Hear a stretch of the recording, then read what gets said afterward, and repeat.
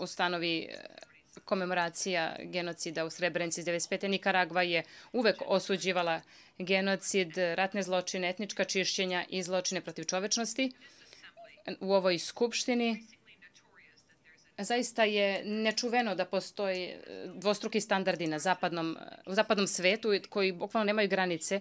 E, znači, žrtve smo manipulacija i oni se koriste da se e, proguraju političke agende i neki konkretni interesi zapadnih zemalja. Za Nikaragvu promovisanje i uvođenje akcija, inicijativa jednostrano ili nekih konkretnih sporazuma ili rezolucije poput ove koja ne uživa konsenzus u Bosni i Hercegovini ne, ne podržava pomirenje u toj zemlji, niti ona doprinosi klimi jedinstva u regionu, generalno govoreći, s obzirom da ona ne predstavlja sva stanovišta svih onih koji žive u toj zemlji, u istoriji ne možemo da previdimo odgovornost i učešće NATO-a u ovim tragičnim događajima od pre 22 godine. NATO je bombardovao ovu teritoriju i prouzrokovao je na hiljade e, ranjenih i mrtvih u bivšoj Jugoslaviji.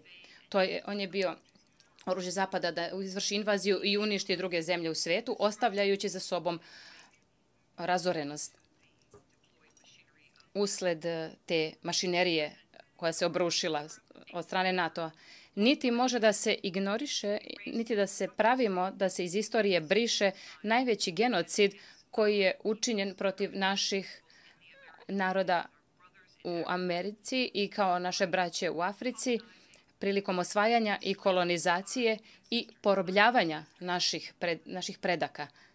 Naši preci su bili vidljivi zapadnom svetu kada su ih oni kada su izvršili invaziju, kada su ih kolonizovali, kada su uništavali našu kulturu i kada su izvršili jedan od najvećih genocida u istoriji čovečanstva brišući milione ljudskih bića sa lica zemlje i uzimajući